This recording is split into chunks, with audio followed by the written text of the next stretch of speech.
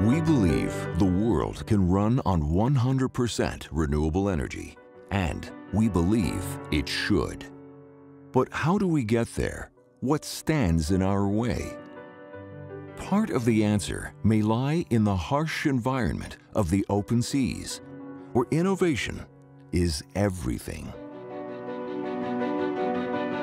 Since the beginning, MHI Vestas Offshore Wind has helped drive down the cost of offshore wind energy, making electricity more affordable for consumers and renewable energy policy a smart decision for lawmakers. In the wind business, bigger is most definitely better.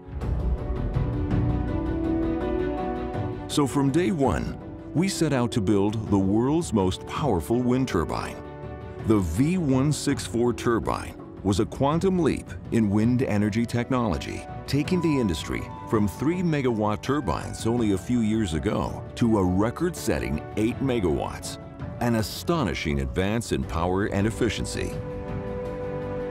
It's a story not only about quantum leaps, but also incremental inventions that have pushed the boundaries of the world's most powerful turbine an additional 20% now producing an unprecedented 9.5 megawatts of wind energy.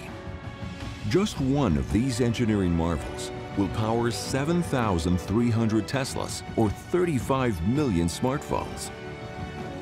But most striking is its sheer size. Its 260-foot blades, the largest operating anywhere in the world, could hold 17 New York City taxis and with a total height of 640 feet to the blade tip, this clean energy giant is more than twice the size of the Statue of Liberty. In May 2017, we commissioned the first 32 turbines off the coast of the UK.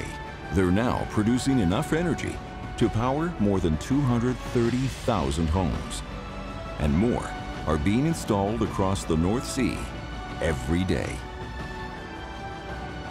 Renewable energy will only power the world if it becomes more affordable, if it becomes cheaper than traditional energy sources. Today, that is happening. Thanks in part to the V164 turbine, a sea-dwelling pioneer quietly harnessing the ocean's mighty wind, pushing the boundaries of what's possible.